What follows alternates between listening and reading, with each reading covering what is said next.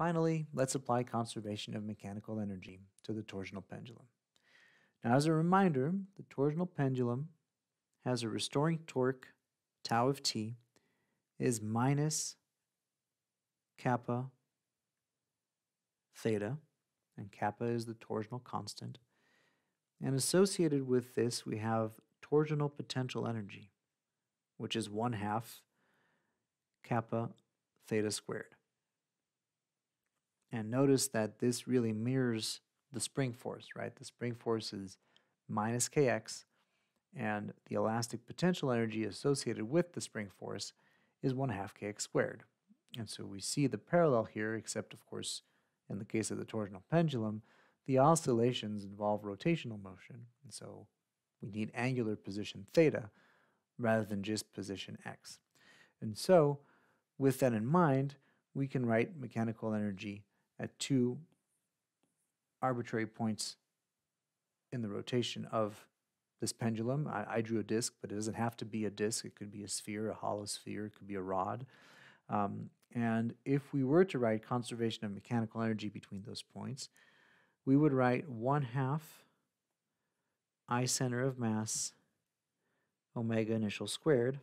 Careful that you need rotational kinetic energy because it's rotational motion, plus torsional potential energy, 1 half kappa theta squared initial is equal to 1 half I center of mass omega final squared plus 1 half of kappa theta final squared.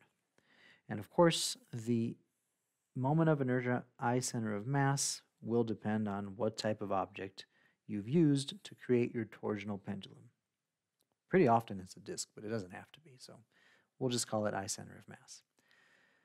Now, point being, overall, you have kinetic and potential energy, and as the pendulum rotates back and forth, the mechanical energy gets distributed between kinetic and potential energy.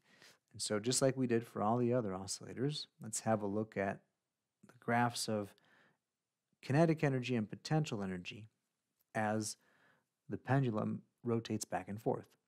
So, at the endpoints, we have no kinetic energy because the disk, let's assume it's a disk, stops spinning and then goes back the other way at that point. So instantaneous angular velocity is zero, meaning kinetic energy is zero here and here. And then at the equilibrium position, no surprise, the disk is spinning the fastest it will ever spin, and that is a property of oscillators. The max speed is reached when the oscillator goes through the equilibrium position. And so that's why you have a curve for kinetic energy that looks like this. For potential energy, well, torsional potential energy is the greatest when the angle through which the disk uh, just spins is greatest. And so that's going to happen at the endpoints, right? Where theta is equal to theta m or minus theta m. Doesn't matter, you're squaring it. And so max potential energy at the endpoints here, and then no torsional potential energy at equilibrium because at equilibrium theta is equal to zero. Hence this curve for the torsional potential energy. And of course, as we've seen previously, if you add both curves, you get mechanical energy, which is constant. And so pretty straightforward to graph uh, these energies or to infer from a graph um, who's who, essentially. And so that's just for graphing the energies. And let's finish up with what we've done for all of the other oscillators, which is write mechanical energy, argue that it's conserved, and then take the derivative with respect to time to get the differential equation that describes the motion of the torsional pendulum. And that'll give us the angular frequency of the torsional pendulum, which we already knew because we've done this before with torque net equals I alpha, we're just doing it with mechanical energy. So it's a different way of getting the same answer. And so mechanical energy at an arbitrary point is going to be 1 half I center of mass omega squared plus 1 half kappa theta squared. And this is a constant, right? This, this entire quantity remains constant throughout the oscillation. And so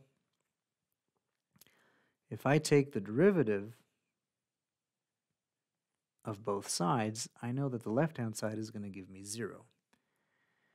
And the right-hand side is going to give me 1 half I center of mass 2 omega, but careful, omega itself is a function of time, so the chain rule requires that you multiply by d omega dt plus 1 half of kappa, and then we're going to get 2 theta. Theta is a function of time, so you got to multiply by d theta dt. And recall that omega is d theta dt.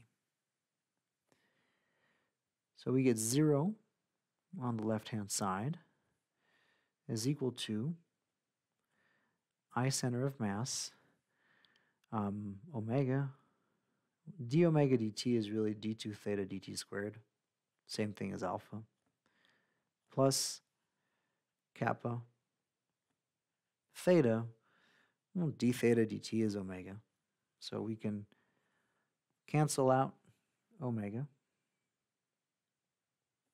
and then we're going to get 0 if we divide by whatever's in front of the highest order derivative to put in standard form, we actually directly get the right form of the differential equation.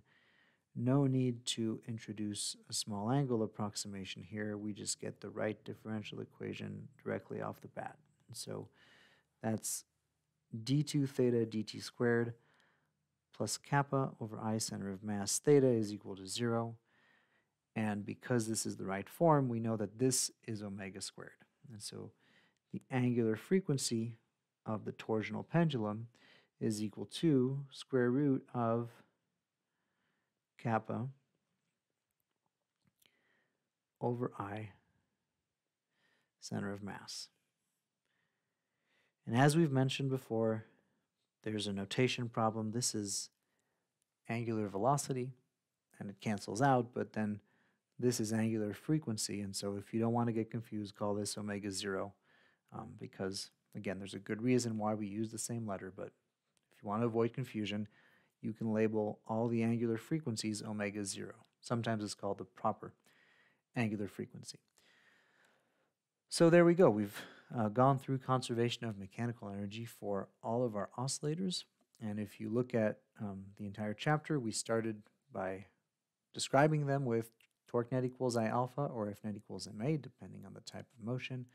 Got the differential equation, omega t f, the frequency, the period, uh, the solution, uh, right? So the position as a function of time based on the differential equation.